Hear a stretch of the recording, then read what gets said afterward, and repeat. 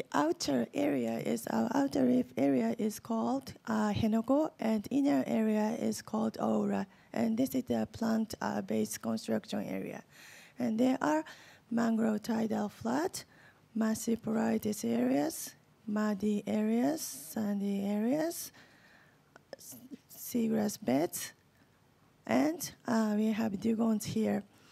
Coral communities, seagrass beds, mangrove, tidal flat, muddy areas, sandy areas are building one big set, and all parts are necessary to support here.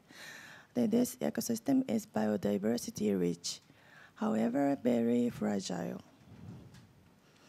And today uh, we are going to focus on seagrass beds among them, and also would like to uh, give, uh, give the brief explanation of what dugong is. Um, seagrass bed, we have the largest size of seagrass bed around Okinawa Island remaining, and um, sea turtles and dugongs feed on.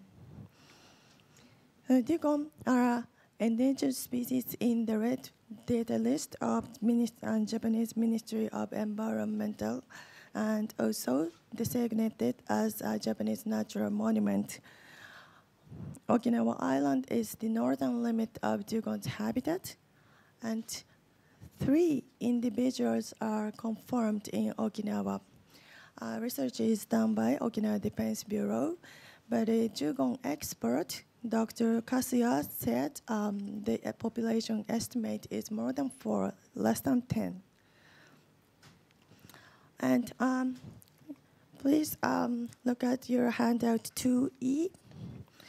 The Okinawa Defense Bureau conducted its environmental impact assessment for the construction and operation of the Futenma replacement facility in this area.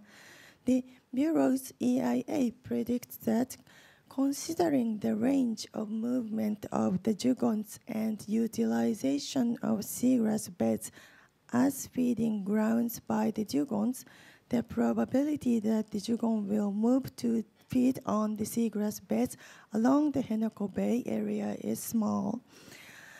There were no reports of dugong usage from 2005 through 2008. However, in 2009, the ODB's own survey reports indicates that the dugong had begun to use this area again. Since then, the usage has gradually increased of the area, and this year, from May through early July, we conducted surveys on dugong feeding trails. We found uh, we recorded more than 150 feeding trails in the area. The area we found is right here. Um,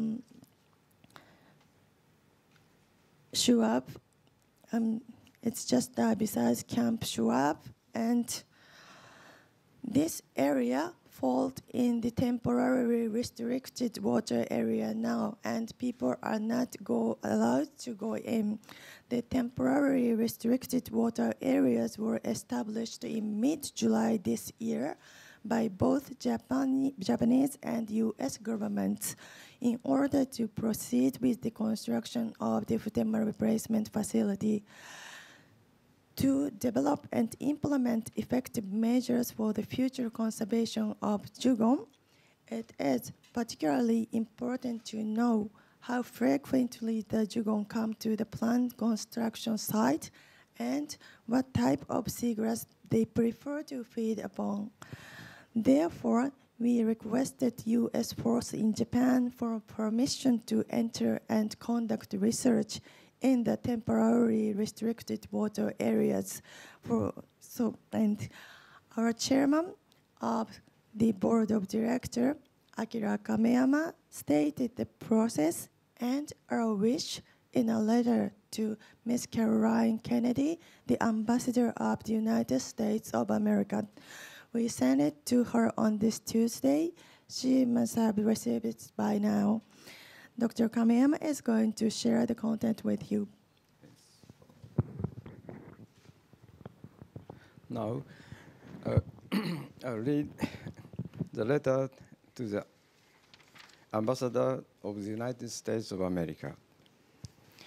Dear Ambassador Kennedy, to begin with, uh, I'd like to express my deepest appreciation and highest respect for your significant contribution to enhancing the strong bond between our two nations.